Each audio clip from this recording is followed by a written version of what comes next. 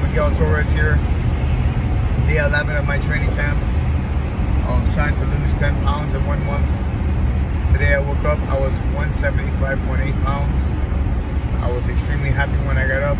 I knew that I would end up putting more weight off as I, I began training more and my diet would kick in. I feel like my body's finally entering ketosis the right way.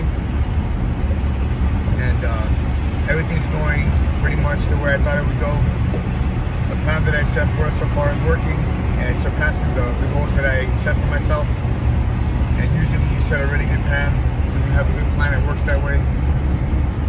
And I was sitting down and I was thinking about what I had to do for the rest of the day. And I realized in my mind that there was a lot of things that I wanted to do and there were things that I needed to do. And that made me think about today's topic.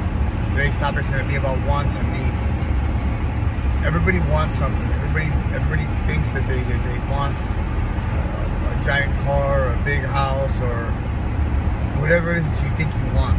Usually, usually, most of the time, in my mindset, when you want something, you probably don't need it. What do we really need? You know. So so for me, none between wants and needs. It's the holiday season.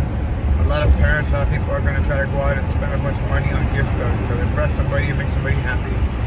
And I believe that the idea for today is material things will not bring you happiness, not in the end of your life. What's truly going to bring you happiness is accomplishing a goal, living for a certain standard, living for a certain for a certain role in your life. It's going to fulfill your your inside desires for wanting to be not a person but a human being. COVID hit us really hard this as far as like economy wise and as far as going to work and stuff like that hit us really hard. I know a lot of parents are gonna try to get their kids Xbox fives or sixes or PS sixes, whatever. I don't play video games. I don't know. I'm an old guy now. I have no idea. But don't try to cut yourself to get your child this thing. Most children, in my respect of what they need from teaching children all the time and working with teens, all they need is a little bit of attention, a little, a little bit of love, and just they want to experience a little bit of life. You know, instead of spending 500 bucks or 700 bucks or whatever you're going to spend on the system, you know, book a vacation for the family somewhere for the weekend, get away somewhere real nice where you guys can just hang out and just do something together that's going to build a memory. I'm not saying video games aren't fun, but or toys aren't fun, or material things aren't fun, but in my in my life, what I've seen, it's better to have a life experience, people you enjoy and you love, and you get a bunch of stuff that you can just replace with some other stuff from somebody else that's you know just not gonna matter to you.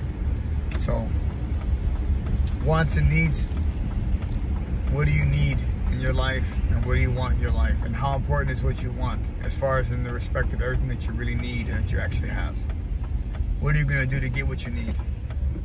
And what do we need as human beings? You know, we need shelter, we need comfort, we need we need security, we need food. There's basic things that we all need do you have those things? If you don't have those things, why do you keep spending your time, which is really money? Because when you spend your money, you're just spending the time that you spent to make that money. Why would you spend your time on something, filling a void that's just going to keep getting bigger with material things? Why not try to let go of those material things a little bit, which make your life way easier? And then you start seeing that building relationships and living for values and living for things that are going to be fruitful in your life they're gonna they're gonna actually like reap you reap the rewards of those things. You know, when you hang out with somebody and you have a good experience, that experience is gonna be a memory in your in your mind for the rest of your life. Who remembers the game they played two or three years ago? I have played video games 15 years ago, and I remember some of those games, but they weren't experiences that changed my life or that gave me a, mem- a memory that was a lasting memory. So, if anyone has any questions out there, anyone has any comments, my diet's going well. I didn't work out this morning. I rested. My body was very sore from the last couple days. I pulled a couple almost all-nighters for a day and a half, two days. And my body's pretty sore, so this morning I rested. I'm gonna hit it good this evening. I'm gonna lose some weights. I'm gonna wrestle. I'm gonna kickbox a little bit, move around. Hopefully I'll be able to hit some pads. And uh, as far as working out, everything's going well. Diet's going well. And if you need any help, need any advice or any uh, talk to somebody, you can hit me up at Miguel Torres MMA at gmail.com on my email.